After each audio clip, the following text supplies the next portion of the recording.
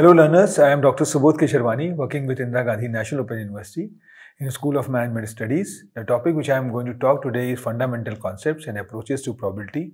This is part of our course called MCO3 Research Methodology and Statistical Analysis and we are here with fourth block and uh, there are certain you know the chapters which comes under the ambit of the fourth block which more focuses on you know the testing probability and hypothesis testing.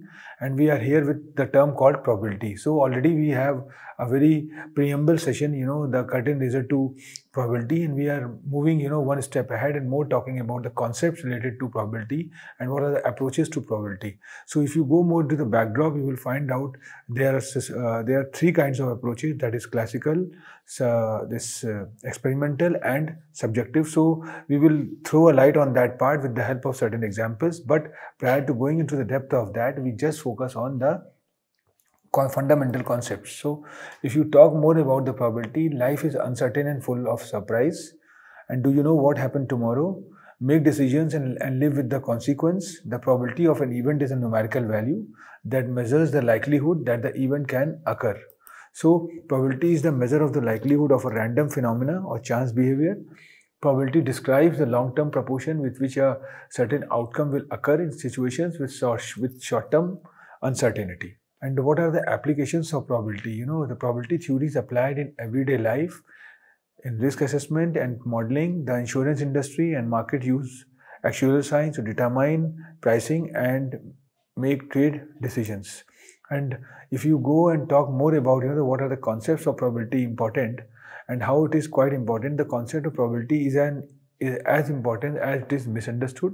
It is vital to have an understanding of the nature of chance and variation in life in order to be a well-informed or efficient citizens. One area in which this extremely important is in understanding risk and relative risk. Now, Oh, there are certain probability rules which we are going to exclusively cover in our coming sessions and which which focus more on you know la, the event and uh, there are one uh, probability rule 1 there are probability rule 2 there are probability rule 3 and there are probabilities involving multiple events. So probability rule 4 is more talking about additional rule for disjoint events that is finding P, A and B using logic. And if you talk about rule 1, I think uh, for any event, 0 is less than or equal to PA and less than equal to 1. So the sum of the probabilities is all possible outcomes is 1. And uh, we will talk more about this in a, in a more elaborative manner in our coming sessions. So probability deals with experiment that yield random short-term results or outcomes, yet reveal long-term predictability the long-term proportion with which a certain outcome is observed is the probability of that outcome. So when you're more talking about probability experiments, a probability experiment is an action through which specific results, counts, measurement or response are obtained. For example, you know, rolling a die and observing the number that is rolled is a probability experiment. The result of a single trial in a probability experiment is the outcome. The set of all possible outcomes for an experiment is the sample space. So, and if you talk more about the example of this, the sample space when rolling a die has six outcomes, one, two, three, four, five, six. So now since we have to uh, give a brief about, you know, what exactly the concepts of probability is, we are moving ahead and, and you know, talking more about the approaches for determining probability. And uh, this, uh, there are three approaches for determining the probability uh, and the first approach which more focus on the classical approach or we can rather we can say the classical method. Second is relative frequency approach or empirical method. And third is subjective approach or subjective method. So an event consists of one or more outcomes and in and is a subset of the sample space. Or and a die is rolled event a is rolling an even number. A simple event is an event that consists of single outcome for example, a die is rolled, event A is rolling an even number. This is not a simple event because the outcomes of event are 2, 4 and 6. So, uh, if you more go into the depth of classical approach, the classical approach to probability express probability as a ratio of the number of favorable outcomes in a series of successive trials to the number of total possible outcomes. Furthermore, all possible outcomes are assumed to be equally probably and uh, no two possible outcomes can both result from the same trial.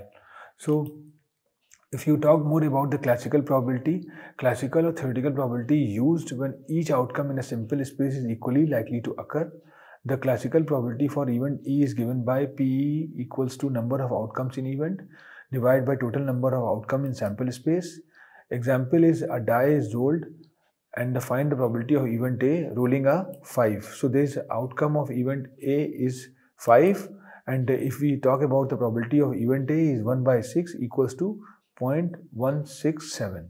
So this is the way by which we are going to calculate the classical method and and uh, if you talk about you know the experiment example given flip of coin outcome of head or tail is there and exact outcome is unknown before conducting any experiment. All possible outcomes of experiment are unknown. Each outcome is equally likely. Experiment can be repeated under uniform conditions. Together these conditions produce regularities or patterns in outcomes. So what we have observed that you know uh, this, this classical method is quite general method.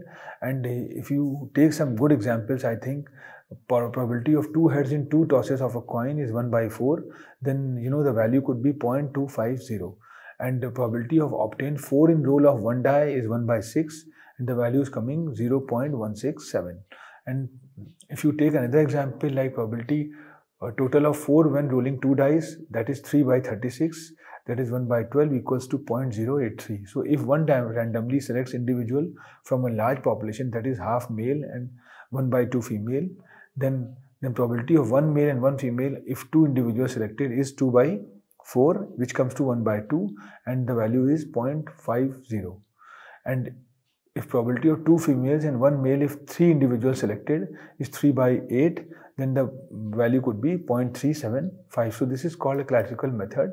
And uh, afterwards you know this relative frequency method is going to be applied. This is quite you know more experimental in nature. So that is the reason we usually call this as a experimental method also. So this method used for an experiment where it is not possible to apply the classical approach usually because outcomes not equally likely or the experiment is not repeatable under uniform conditions. The probability of an event E is the relative frequency of occurrence of E or the proportion of times E occurs in a large number of trials of the experiment. So what we have observed that, you know, example of relative frequency method is party supported, conservative, liberal and DP green and the percent of support is 38, 27, 17, 9 and 8 respectively. If, you know, one meet an individual uh, and uh, know nothing about this person, the best estimate of the probabilities that the person supports the various parties are P individual is a conservative supporter, so 0.38 is there.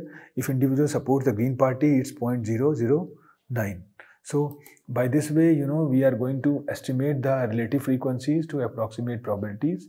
And the following data represent the number of homes with various types of home heating fuels based on a survey of 1000 homes and approximate the probability that randomly selected home uses electricity as its home heating fuel? And would it be useful to select a home that uses coal or coke as its home heating fuel? So what we observe that when you are going to plot this in a tabulated format i think house heating fuel is utility gas bottle tank electricity fuel oil wood solar energy and other fuel no fuel use. So frequency is 504 with respect to utility gas 64 with respect to uh, bottled 307 related to electricity 94 related to fuel and uh, solar energy one other fuel is this. So when you are going to you know calculate this i think uh, this is the way by which you are going to do that. So as an experiment is repeated over and over the empirical probability and there is law of large numbers. As an experiment is repeated over and over the empirical probability of an event approaches the theoretical actual probability of the event uh, that is Sally slip Sally flips a coin 20 times and gets 3 heads. The empirical probability is 3 by 20 and this is not representative of the theoretical probability which is 1 by 2 as the number of time you know the the person tosses the coin increases. The the law of large number indicates that the empirical probability will get closer and closer to the theoretical probability. So probabilities with frequency distribution if you see the following frequency distribution represents the age of 30 students in a statistics class what is the probability that a student is between 26 and 33 year old? If we if we take our ages 18 to 25 frequency is 13 26 to 33 frequency is 8 34 to 41 frequency is 4 42 to 49 frequency is 3 and 52 50 to 57 frequency is 2 so uh, if we take a summation of the frequency it is coming 30 so uh, the probability of age 26 to 33 is 8 so the probability is 8 by 30 which comes to 0.267 so this is the way by which we are going to calculate the frequency distribution uh, probabilities with, re with respect to the frequency distribution. Now, you know, after talking more about classical approach and this experimental approach, the third way of doing it is the subjective probability. So, subjective probability results from intuition, educated guesses and estimates. A business analyst predicts that the probability of a, of a certain union going on strike is 0.15. Range of probability rule is the probability of an event E is between 0 and 1 inclusive that is 0 is less than or equal to probability of A less than or equals to 1. So this is called if you if you see this uh, 0 is impossible to occur and uh, PA is 0.5 uh, which is even chance and 1 is certain to occur. So this is what we have already you know discussed in our uh, concepts of probability or in the preamble part of the probability but since we are applying it we are we see how you know this is going to be applied so, subjective or judgmental method is make your best guess of the likelihood of the event based on reliable information good judgment inform yourself about the issue or discuss it with someone knowledgeable probability is number between 0 and 1 that represents your degree of belief the event will occur and if you talk about probability of E which close to 0 implies a judgment that the event is unlikely to occur. So probability E close to 1 implies a judgment that the event is quite likely to occur. There are some more examples of subjective methods uh, and if you talk about like probability of of particular thing is uh, uh like one can defeat the uh, other other person and and the probability is 0.7 or you know uh, mm, probability have an auto accident during the next six months is 0.02 some snowfall in in in particular area of himachal or kashmir before the end of october is 0.97 so these are some of the examples which is there but on the other hand you know there is a difference between subjective versus objective probability. Subjective probability is a probability in lay terms. Something is probable if it is likely. Example i i will probably get an a in this course. If you talk, talk about objective probability is what we will use in the course. And if you take example objective probability is a relative frequency with which something occurs over the long run. So what does that mean? So suppose we flip a coin and get tails then the relative frequency of head is 0 uh, by 1 which comes to 0 and suppose we flip it again and get tails again our relative frequency of head is 0 by 2 which again comes to 0 we flip it 8 more times and get a total of 6 tails and 4 heads. The relative frequency of heads is 4 by 10 which, is comes, which comes to 0.4 and we flip it 100 times and get 48. The relative frequency of head is 48 by 100 which comes to 0.48. So uh, in this, this is one of the example of the all objective uh, probability.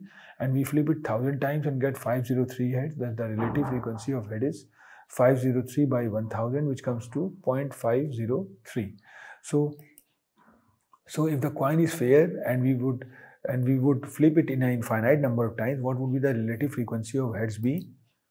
So it would be 0.5 or 1 by 2 so that is the relative frequency over the long run or probability of the heads so now you know subjective probabilities are probabilities obtained based upon an educated guess. For example there is a 40% chance of rain tomorrow so i think we have we have talked a lot about you know all these approaches which is quite you know important. And when we are taking some good examples i you know when in our coming sessions when we are going to talk about probability distribution or probability rules i think we are going to apply these approaches. Either it could be the classical or experimental or or you know this uh, subjective. So uh, by this i am winding up this particular session. We have two basic sessions you know which focus on the probability. And this particular session was more talking about you know the fundamental concepts as well as approaches to probability. So in our coming sessions we are going to take some numerical examples or we can talk about certain rules which can you know build a, a concepts of probability in a more elaborative manner. Thank you very much. Thank you